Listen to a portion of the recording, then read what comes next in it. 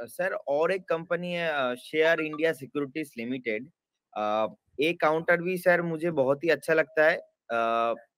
Because of Share India जो limited company है अभी अब देखेंगे कि 1450 के आसपास ट्रेड हो रहा है।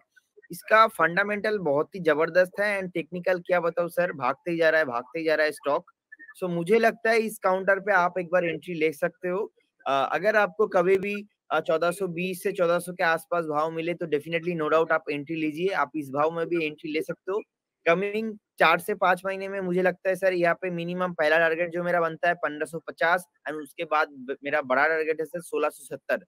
पंद्रह सौ पचास पहला टारगेट रहेगा एंड सोलह सौ सत्तर मेरा सेकेंड टारगेट रहेगा सर एक कंपनी बहुत ही भाग रहा है वीकली डेटा ज़बरदस्त अच्छा है।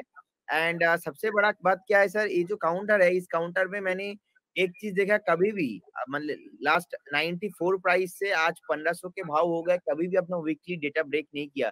हर बार वीकली का जो एक मोमेंटम आता है, उस मोमेंटम से ऊपर ही चला जाता है। और रिसेंटली तो सर एक जो नेगेटिव मोमेंटम आया था नेगेटिव मोमेंटम आने के बाद फिर से एक बार ब्रेकआउट होके अभी ऊपर सस्टेन कर रहा है। तो मुझे लगता है सर कमिंग डेज़ में बहुत ही अच्छा प्रोबेबिलिटी है। हमें 1670 तक एक प्रोबेबिलिटी दिख रहा है कि शेयर इंडिया सिक्योरिटीज भाग सकता है।